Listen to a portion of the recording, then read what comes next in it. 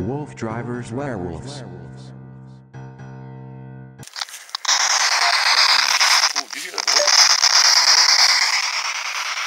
I heard you talk. Is this a coal mine? That's what we were told.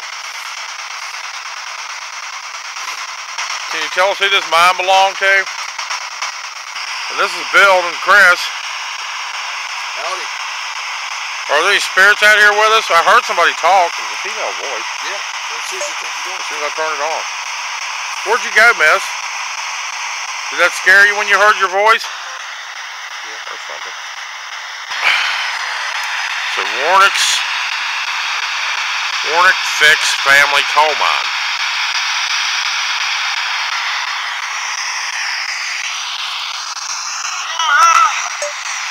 There we go. Has it been a long time since you heard your own voice? We understand there's a cemetery up the road. Is that your family too? I know it said Warnick Family Cemetery when I was looking at it on the internet. Yeah. They must have been the first, We heard you talk. We really wish you'd come up and talk to us. When we came along, we done rode all the way out through the woods and come out here and found this hole in the ground.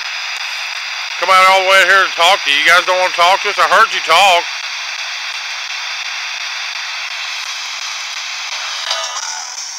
What was that? Your voice. Can you? We're having trouble hearing you. Can you? Come, come closer. You can talk to us. We're not here to hurt you. We're here to talk to you. See if there's anything we can do to help you. My name is Bill. This is Chris. Curtis has been talking to you. We came from Baltimore. We've been here before. You, you. were you for the Confederacy or for the the North?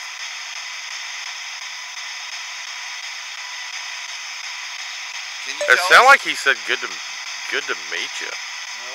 Good to meet you. Thank you very much. That's what it, I mean. That's I was just. He just said something. We're we're running my dogs out here. You might have seen us before. We did it about maybe six months ago in the winter. And I believe Rhett, who's with the dogs now, came out here to see you or to see what was here, the coal mine. You were see him. You can go see him. Can you tell us a bit more about yourself?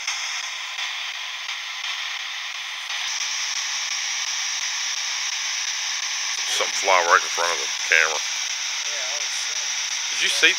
I just saw something fly right in front of right in front of my IR. I saw like a halo too, but I was. It's staying. There it went again. Zero point one.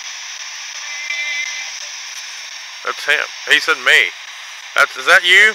Is that you flying around? I saw something go right in front of the camera. Is that you?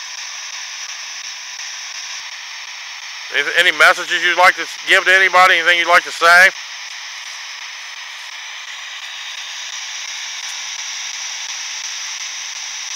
I'm gonna head over to the He just answered you. Yeah. Did you say that again? Well said, you, we're going to get down the get down the trail here and, and try to find the cemetery. You're welcome to come down there with us and talk to us. Um, you can't follow us home when we leave here tonight. You do need to stay here.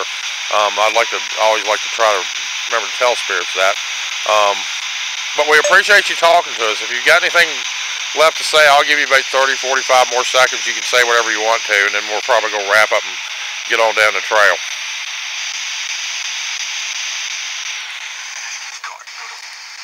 Talk to me. Didn't he just say talk to me? Something, He said talk something to me. talk. I can talk good or something.